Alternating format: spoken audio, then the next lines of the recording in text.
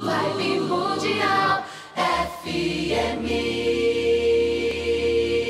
Olá, amados, boa tarde, boa tarde você aí juntinho com a gente. Às vezes em casa encolhidinho, né? Porque em casa é mais frio, aqueles que estão na rua já está mais quentinho, mas estamos todos juntos, né? E aproveitar sempre, né, esse momento que é o momento da gente refletir, né? Nós, nós, uh, essas quatro estações do ano, nós temos que acompanhar porque é o momento. Então, esse momento agora do outono, né? É uma forma da gente estar também fazendo, se fechando um pouco mais, se conectando. E nós, como a música acabou de falar, nós somos viajantes, né? Nós viajamos muito e aqui nós vamos falar do espaço terra, né? Onde nós uhum. estamos ocupando.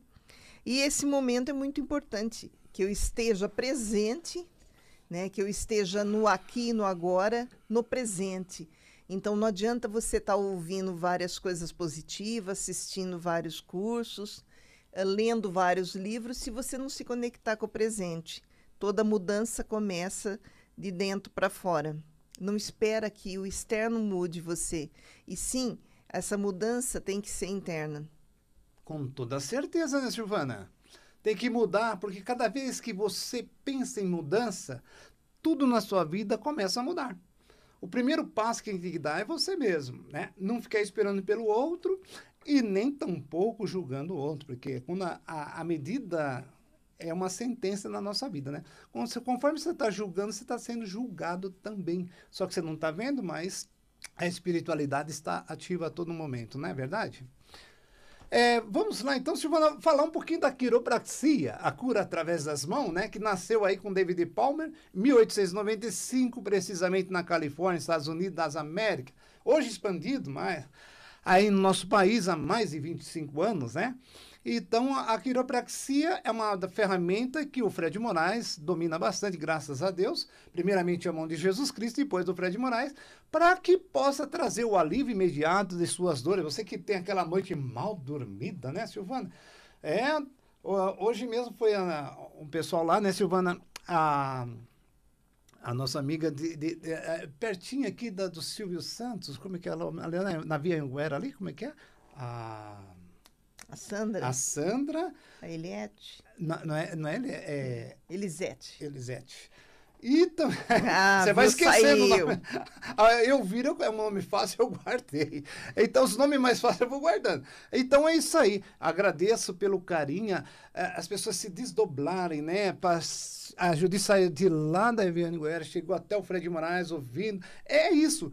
A melhor propaganda ainda continua sendo o boca a boca, porque conforme a pessoa passa pelo Fred Moraes, que vê de perto o trabalho do Fred Moraes, que sente as mãos do Fred Moraes, né? Fala assim, você tem umas mãos maravilhosas que realmente trouxe uma diferença na minha vida, porque você fez as rotações lá da quiropraxia e com certeza fez aquele estralinho, as compressões discais saíram da coluna e eu fiquei aliviado das dores e os sofrimentos, né? Então, é isso, é um trabalho que a gente vai dominando é, há 35 anos aí com muito amor e com dedicação sempre. Além da quiropraxia, lógico, existe o floral aí de Saint Germain, que é excepcional, que a Silvana também domina muito bem essa parte, né? E que vem trazendo a alegria para as pessoas que chegam até ela, as pessoas que muitas vezes chega meio quase depressiva ou mais do que depressiva, né, Silvana? Até com transtorno bipolar e as pessoas chegam é, vem com aquele resultado maravilhoso, não só daqui do, do nosso país, como também o país vizinho, é, é, Argentina, Japão. É, é, é, Japão não é tão vizinho, mas não é tão vizinho. É, já, é, já um vizinho meio de longe, né? É o coração que nos une.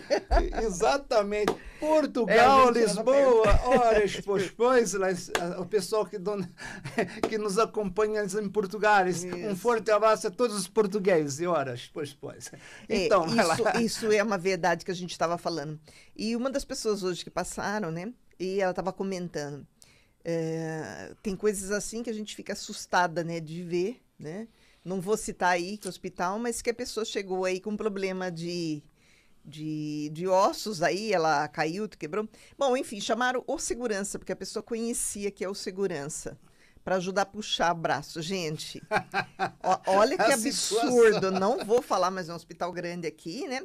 É, então, eu tava, comentei com a pessoa. Falei, olha, eu não sou quiroprata, né? Quem vai atender você é o Frederico, mas... Uh, nós temos aí 206 ossos e o Frederico sempre coloca, né, a responsabilidade de conhecer, né, de trabalhar com isso. Então esse senso de responsabilidade, imagina um profissional da área de saúde chamar um segurança para ajudar ali puxar. Ó o termo, gente, puxar. Então é claro que nós precisamos estar atento a todo o sistema e verificar o que está sendo, o que está acontecendo comigo. Aqui a gente sempre fala, gente, o Google, né? É, é uhum. é, vai lá, vai no Google, pesquisa antes, vê o que está acontecendo, né? Então não vá, né, para uma cirurgia. Uh, quantos casos que a quiropraxia consegue, né, solucionar? Então, o importante é nós estarmos sempre ouvindo essa informação, muitas vezes no momento, né? Não é indicado para você, embora eu sempre falo, que mesmo que você não esteja com um processo de dor, é muito bom você estar tá fazendo um alinhamento da coluna. Então, trabalhar essa coluna, fazer esses ajustes para você ter uma saúde equilibrada. É a nossa sustentação do nosso corpo. É o que o Frederico sempre coloca: uma casa sem uma sustentação, ela vai cair. Com toda certeza. Uma casa sem coluna é uma casa é. que vai, vai vir. É como diz biblicamente, né? Quando edificar a sua casa, não edificar sobre areia, mas e sim com uma coluna bem sólida, para que quando vier o vento e a tempestade, ela não venha sofrer abalo. Bom, é, falar esse em... termo da coluna, que, Jesus nos ensina né, no, né, no, Apocalipse ali, ele quer dizer o seguinte, quando você recebe uma notícia ruim, você, às vezes você não está preparado. É essa, a resposta é sim, é essa. Você sim. não está preparado para isso. Ah, morreu um filho, uma filha. Mas como é que você pode estar preparado? Está alicerçado espiritualmente para aceitar né? Porque ainda com, com todo o que está acontecendo no mundo, as pessoas ainda não têm a estrutura espiritual, né? Principalmente com a pandemia. A pessoa não tem essa estrutura ainda porque a, falta o que? A fé. A fé, não no bule de café, mas a, a fé sólida. A fé do tamanho de um grão na mostarda. De seis a esse monte transportar e daqui para diante ele se transportará.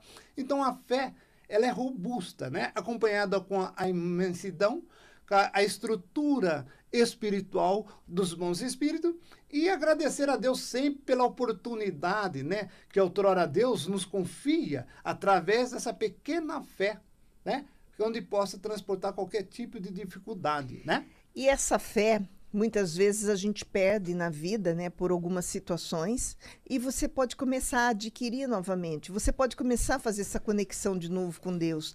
E uma das formas que a gente começou a falar, né, toda mudança acontece de dentro para fora. Como, como você vai reconhecer, como você vai fazer isso? Através de meditação. Você precisa silenciar um pouco a sua mente, você precisa se ouvir.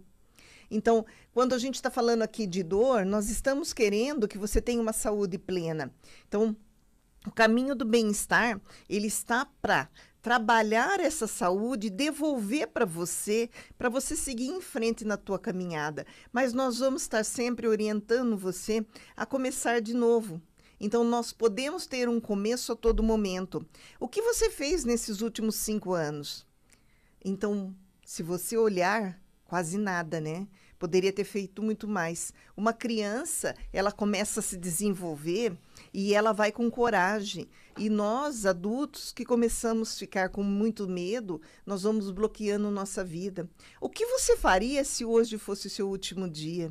Então, a todo momento, eu daria mais abraços, tá certo? Eu sei que tem pandemia, não precisa abraçar os de fora no momento, mas abraços que estão dentro. Olhe mais, né? Para o seu cônjuge, para o seu filho, para sua mãe, para o seu pai. Não espera acontecer alguma coisa, não espera alguém ir embora desse plano para começar a depois ter remorsos. Então, eu acho que a atitude né, que nós devemos ter todo momento, coloca aí no seu celular cada uma hora para você se olhar como você está. O que, que você está pensando? Nós temos em média de 50 a 60 mil pensamentos dia. Eu sei que tem gente que está me ouvindo aí que tem 80 mil. e aí nós temos em média. Ou mais. É, ou mais. E temos, Depende. em média, 2.500 decisões por dia. Olha, que absurdo. É, sabe como são essas decisões? Que cor de roupa que eu vou pôr hoje? O Jean hoje pôs um...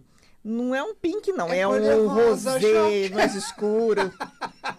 É, ficou, ficou bom, ficou bom. Então, nós... Você é corintiano, Jean? Então, é isso. a gente toma essas decisões todas as horas, né? Nossa, eu vou almoçar o quê? Então você imagina, olha quanto que a gente está jogando para o nosso mental. 50, 60 mil pensamentos. 2.500 decisões por dia. Se eu não estiver focado em mim e estiver pensando o que aconteceu lá atrás, né? Aquele namorado que me largou, aquele marido que me abandonou, e abandonou e eu não saio do lugar mais, não faço mais nada. Eu vou morrer, eu vou me jogar de cima do viaduto, em cima é. de um prédio. E não vai acontecer, né? e aí, aí, aí ainda vira mais para frente e fala assim: ai, meus filhos estão dando problema, estão me dando problema. Claro, você está com um problema. Você não está se situando em você. É pior, é claro que a família pior, vai estar, tá, né? Pior, desequilibrada. Com certeza. Isso não é, ai, você está falando porque você não tem isso. Todos nós temos. Todos, todos que estamos aqui temos obstáculos a enfrentar Cada todos um os dias. tem um fardo a carregar. Sim. Deus não dá nem mais e nem menos. O fardo, né, são as consequências do dia a dia que são impostas, porque nós mesmos, né, as condições do dia a dia você aceita se você quiser, tá? Você porque pode mudar, né? Você pode mudar para melhor Sim. ou para pior. A escolha é sua. Claro. O que você entende por livre-arbítrio? Livre-arbítrio é a livre escolha. Então, Deus não é culpado de nada. O único culpado de todas as consequências na vida diária somos nós mesmos. Nós podemos mudar a hora que a gente quiser. Ah, eu quero ser rico, você vai ser rico, mas sim, você tem que correr atrás. Mas você tem que saber que você quer. Eu é quero escolha. Ser, ou sim, sim, a sim. própria Bíblia fala sim, sim ou não, né? É. Vibe Mundial 95. 95,7